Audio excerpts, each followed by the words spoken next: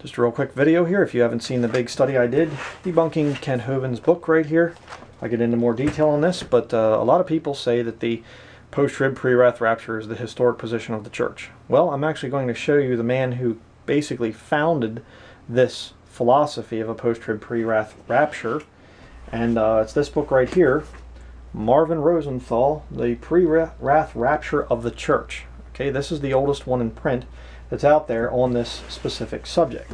I'm going to show you that he's actually honest about the timing of this philosophy. Let's look at this. And I showed this in my other study and got into a little bit more detail. I'm not going to get into much here.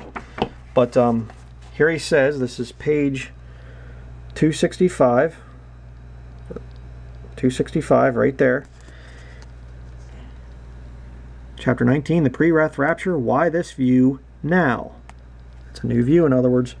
Perhaps at this point an important question must be answered. If the thesis of this book is correct, if the church is to be raptured pre-wrath at the opening of the seventh seal, and therefore sometime within the second half of the 70th week of Daniel, why has this position never been enunciated before? Why, only after more than 1900 years into the church age, does this view appear on the scene? Is it simply a new and fanciful position set forth by an extremist? This is a legitimate issue deserving a satisfactory response. Okay, he just admitted to you it's brand new.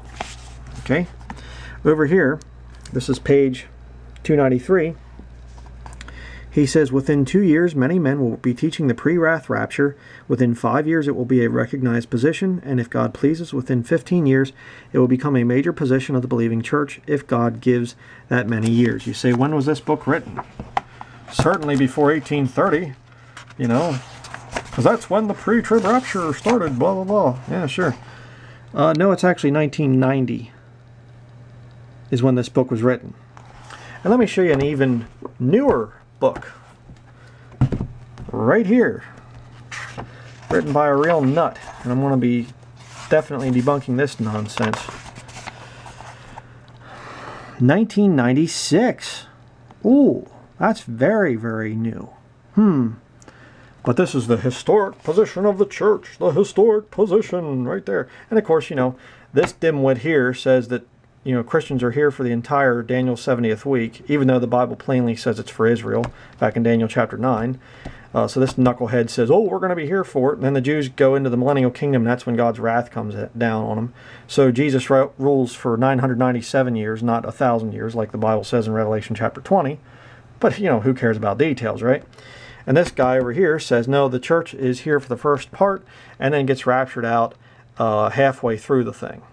You know, a bunch of nonsense. But you see, this is the, the foundation of it.